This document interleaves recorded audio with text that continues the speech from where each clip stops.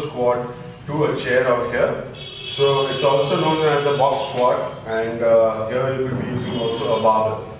So let's go with the movement. The legs are positioned in line with the shoulders, they are parked straight. We've got a pair of dumbbells in our hands next to our body line and uh, we're going to inhale, go down, sit for a small second on the chair or box and exhale back up. So what you're doing is you're stretching the thigh muscle at the low point and as you come up you should exhale and contract.